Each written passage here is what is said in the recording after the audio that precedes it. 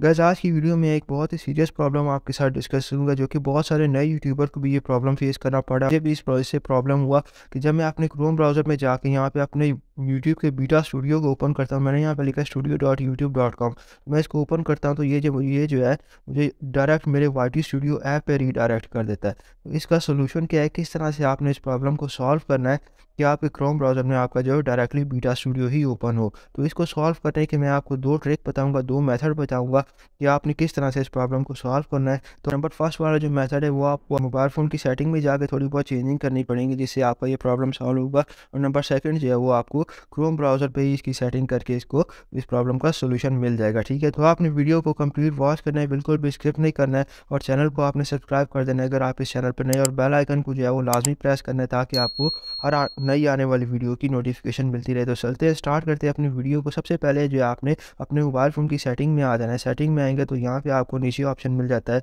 Application and manager मिल जाएगा, आपको application manager मिल जाएगा एप्लीकेशन एंड परमिशन मिल जाएगा, आपको सिर्फ़ जो है वो अपने मोबाइल फ़ोन में ऐप्स लिखा हुआ मिल सकता है, ठीक है? तो आपने इसको ओपन कर लेना एप्लीकेशन मैनेजर जो आपने इस पर क्लिक करना है क्लिक करेंगे तो अब आपके सामने जितनी भी आपके मोबाइल फ़ोन में एप्लीकेशन इंस्टॉल्ड है, जो अब इस टाइम रन करेंगे आपके मोबाइल फ़ोन में एंड्रॉयड फ़ोन की मैं आपको बात बता रहा हूँ तो वो यहाँ पर आपके सामने सारी की सारी आ जाएँगे। अब यहाँ पर आपको जो है वो वाई स्टूडियो की एप्लीकेशन भी मिल जाएगी। आपने उस पर उसी पर क्लिक कर देना है वाई स्टूडियो एप्लीकेशन पर अब यहाँ पर आपको बहुत सारे ऑप्शन मिल जाते हैं वाई स्टूडियो की एप्लीकेशन के, ठीक है?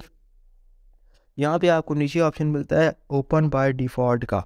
यहाँ पे आपने इस पर क्लिक कर देना है। क्लिक करेंगे तो अब यहाँ पे आपके सामने सबसे पहले ऑप्शन आएगा open this supported link in an application ठीक है? अब आपने इस वाले ऑप्शन पे क्लिक करना है। क्लिक करने के बाद ये आपके मोबाइल फ़ोन में पहले से अलाउ होगा। आपने इसको डिनाई कर देना है इसको। ऑफ़ कर देना, ठीक है? उसके बाद मैं आपको दोबारा से अपने क्रोम ब्राउज़र में जाकर अपना बीटा स्टूडियो ओपन करके दिखाता हूँ। मैं क्रोम पे आ चुका हूँ तो यहाँ पे मैं लिखा हुआ है studio dot YouTube dot com ठीक है? अब मैं यहाँ पे इस पर दोबारा से क्लिक करूँगा तो आप देखते हैं कि हमारे सामने जो है वो वाटी स्टूडियो एप्लीकेशन ओपन होती है या हमारा डायरेक्ट जो है वो बीटा स्टूडियो ओपन होता है। तो गाइस इस तरह से मेरे सामने जो है क्रोम ब्राउज़र में मेरा डायरेक्टली अब बीटा स्टूडियो ओपन हो चुका है। पहले जो इस पर क्लिक करता था, मैं studio dot YouTube dot com में सर्च करता था क्रोम पे तो मेरे सामने जो है वो वाटी स्टूडियो एप्लीकेशन को ये बार बार ओपन कर देता था, ठीक है? तो अब इसका प्रॉब्लम ये फ़र्स्ट वाला ऑप्शन जो है, मैंने फ़र्स्ट वाले तरीके से आपको जो है वो इसका सोल्यूशन बता दिया कि आपने अपने मोबाइल फ़ोन की सेटिंग में जाना है और वहाँ से जो है वाटी स्टूडियो की एप्लीकेशन को ओपन करके वहाँ पर जाके आपने इसकी थोड़ी बहुत चेंजिंग करनी है और मैंने आपको बता दिया। आप सेकेंड वाला जो ऑप्शन है, वो भी मैं अब आपको सामने यहाँ पर लाइव करके आपको दिखाऊँगा अब वो जो है, आपने यहाँ पे क्रोम ब्राउज़र में करना है तो यहाँ पे अब जब जब आपका जो है बीटा स्टूडियो ओपन हो जाए ना क्रोम ब्राउज़र के अंदर तो अब यहाँ पे आपको एक सेटिंग करनी है। यहाँ पे आपको थ्री डॉट्स मिल जाते हैं ऊपर। आपने सिंपली इसके ऊपर क्लिक करना है। क्लिक करेंगे तो सबसे पहले जो है, आपने यहाँ पे इसको जो है वो डेस्कटॉप साइड मोड पर आप इसको क्लिक कर देना है। क्लिक करेंगे तो यहाँ पे जो है वो आपको बीटा स्टूडियो को रिफ्रेश करके इस तरह से अब आप दोबारा से जो होगा आपके चैनल का डैशबोर्ड यहाँ पे ओपन हो जाएगा। उसके बाद दोबारा से आपने इस थ्री डॉट पे क्लिक करना है। क्लिक करने के बाद यहाँ पे आपको ऑप्शन मिल जाता है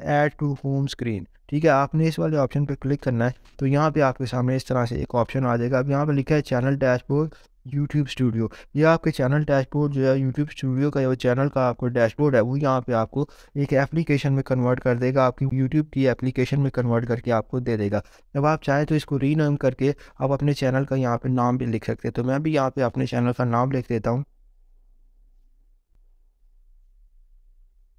तो इस तरह से आपने भी अपने चैनल का जो है, वो यहाँ पे नाम लिख देना।